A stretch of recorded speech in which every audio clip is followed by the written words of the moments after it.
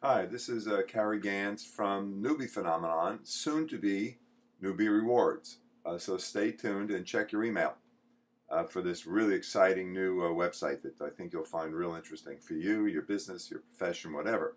Uh, what I want to show you today was something I just found, which is kind of cool. It's uh, how to add a poll or survey to your blog. So right now I'm at, and just understand that when you, can, the, the value of adding a poll or survey to your blog. Now, every visitor that comes in becomes a research tool for you. Uh, by that I mean you can use uh, surveys to find out what kind of new products people are looking for, why they came to your blog, uh, what kind of information they need, what problems they need to be solved. I mean, the uh, you know the results can help you in numerous ways, and it's real easy to do. And there's several ways of doing it. But I'm going to show you one today that I just found. It's kind of cool. So uh, all I'm going to do now is I'm going to go to I'm in my uh, Newbie Rewards blog and I'm going to go, I went into plugins and add new. And then up on here, I'm just going to type in the word polls. Now I've already done this before, so I know that, that it's going to be in there, but that's basically how you would find various plugins. The easiest way, at least I found. You can also go to the top here to upload and feature and all that stuff. So let's search, and now we found a whole bunch of them. Now I use WP polls, uh, and that's a real nice one uh, real easy to use, but I just played around with Sodahead polls. So we're going to install it on this blog. And now all you do is click install. And one of the real power, uh, part, you know, the power of WordPress is how easy it is to do this stuff. Uh, and we're going to activate the plugin. This takes a matter of minutes and then we're done.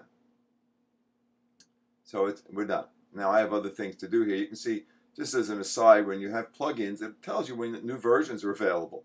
So all you have to do is click upgrade automatically and I'll upgrade the plugin for you. Now how easy is that? So anyway, let's go ahead and add a poll. So Sodahead puts the uh, poll in your widgets, which are little applications. So I'm going to click on widgets in the appearance section. And you'll see over here somewhere there's Sodahead poll. Now I have a sidebar here that contains a whole bunch of stuff. And I'm going to get rid of some of it because right now I don't really need it. I don't need search, so we're going to take search out of here. And I'm not really interested right now in comments, so let's get it out. And let's put Sodahead in. This is how easy you can change your, your, you know, your sidebar and all that kind of stuff. Now you can figure out where you want to put it. So I'm going to put it right above categories. And now it's going to ask me to create a new poll, which I'm going to do. Now I already have a, a um, you know, a, an account with them. So I'm going to log in. All you have to do is put a nickname in, whatever your username is, and password, and that kind of stuff. So I'm going to put mine in now. Whoops.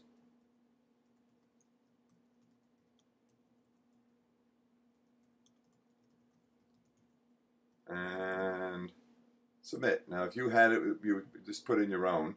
And now, what's the question I want to ask? Well, we're going to ask, uh, what do newbies need? And the answer could be um, more uh, courses. Second question might be more video training. Could be more PLR products.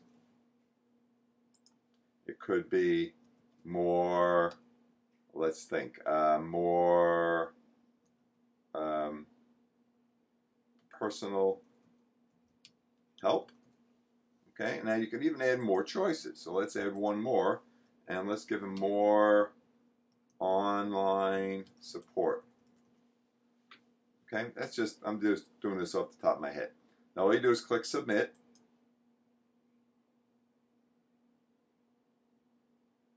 And it's going to show the, it'll show you the form in a second. And then you can pick the size. Now I, I'm going to pick the smaller size to make sure it fits into my sidebar. I'm going to click Done. Now you can also customize these. You can put graphics on them. See, uh, you know, whatever you want. And you click the Customize button, and you can see you can change the colors, the background, the text. I'm going to leave it because I happen to like it. Um, so it's real, real easy to do. And you can even put graphics on there. Click Done. And that's about it. Now I'm going to click Embed, and you'll see there's the poll. Now always remember to save. Now I do this several times because sometimes this is kind of weird. So I'm going to click it and then make sure you close it because sometimes it'll disappear off of there. So I like to go back in and just make sure it's there, click Save again. I don't know why, but sometimes it disappears. Now once you create these, by the way, they'll appear in your polls. Now you can see I have an account, so I have three different polls. I have a different blog. I have a WordPress blog and a Twitter blog. So we have different polls for different reasons. So now I'm done, and let's see what it looks like. So we're going to go to Visit Site, and let's see if it's there. And if you scroll down, there's the poll. Kind of cool. And that's as simple as it is. And then you can go into your uh, your administration and you can actually see what the results are. Um, that's about it. I just wanted to show this and uh, enjoy uh, putting polls on your blog. Have a great day. Okay, this is the second part on the um, plug-in video using SodaHead to create polls for your you know, WordPress blog. I just wanted to show you how you find the results because uh, uh, you know what is a poll if you don't find the results. Anyway, all you do is log go to uh, sodahead.com and you log in using whatever username, your uh, email address, and your password, and then you go up. When you, you'll eventually come to a screen that looks something like this. Forget the bottom part, and you'll see your dashboard and your username up in here. Click on your username, and you'll come to your username profile. And on the right hand side here, you'll see the questions you've asked and then you just click on them.